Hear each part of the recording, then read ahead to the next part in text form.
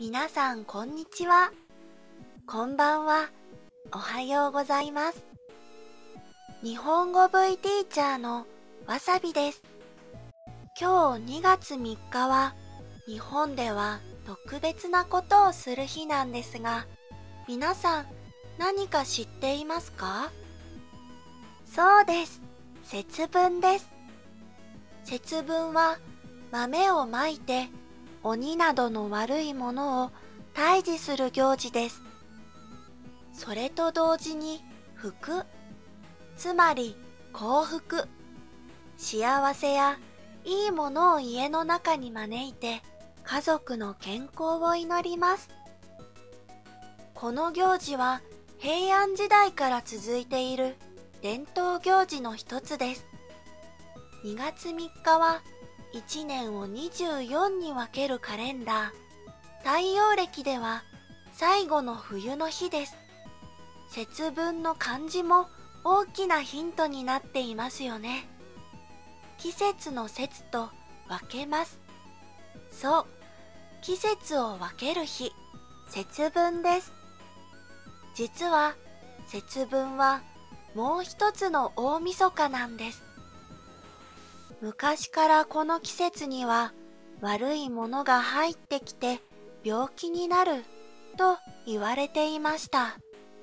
そのため節分は冬が終わるこの日に一年を締めくくる行事として始まりました。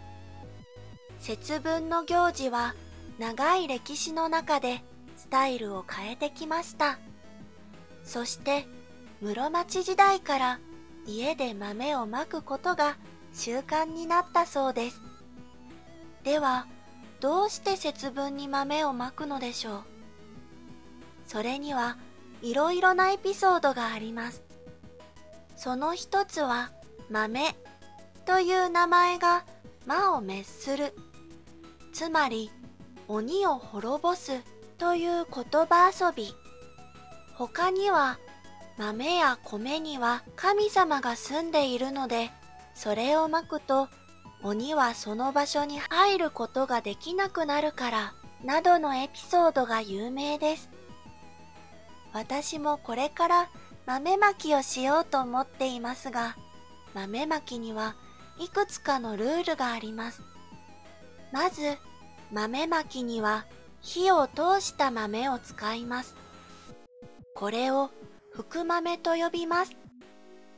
今はスーパーで普通に買うことができます。豆をまくのは夜の8時から10時がいいです。鬼が来る時間だからです。家の中でも玄関から一番遠い場所から順番に豆をまいていきます。すべての窓から豆をまきます。その時に特別なコール、鬼は外と言いながら豆をまいてください。そして豆をまいたらすぐに窓を閉めてください。鬼が入ってきます。それから反対に部屋の中にも豆をまきます。今度は、福は内と言います。部屋の中にたくさん豆をまくと家中豆だらけになるので少しずつまくのがおすすめです。これが豆まきです。これが終わると自分の年の数だけ豆を食べます。これを年取り豆と言います。地方によってはこれから新しい年を迎えるので、新しい年の分、一つ多く豆を食べることもあります。ふう、ちょっと大変ですか？でも、やってみると楽しいし、とてもリフレッシュした気分になります。昔の人が年末にやっていたと考えると、なるほど、と納得してしまいます。そして現在では節分といえば豆まきと恵方巻きですが、この巻き寿司は2000年頃から日本全国に広まった文化だと言われています。その昔、江戸から明治時代の大阪では、節分のお祝いや商売繁盛、つまりお客さんがたくさん来て、店が賑やかになりますようにというお祈りのために巻き寿司を食べていたそうです。この話を聞いたコンビニの社員が恵方巻きという名前をつけて1989年広島で売り始めたのがスタートだと言われています。恵方巻きの恵方は年徳神という幸せの神様がいる方向という意味でこの方角は毎年変わります。今年2022年の恵方は北北西だそうです。江戸時代までは内から見て恵方にある神社やお寺にお参りする恵方参りという文化があったのですが恵方巻きの文化が始まった時にこの恵方参りの文化もミックスされたそうです。どのようにミックスされたかというと節分の夜に恵方に向かって願い事をしながら何も言わずに恵方巻きを一本食べると願いが叶うというものです。わかりましたか？もっとシンプルに説明しましょう。恵方巻きを食べます。